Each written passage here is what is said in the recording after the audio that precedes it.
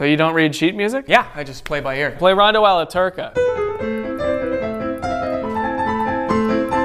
Okay, but play it like it's 1968 and we work in advertising.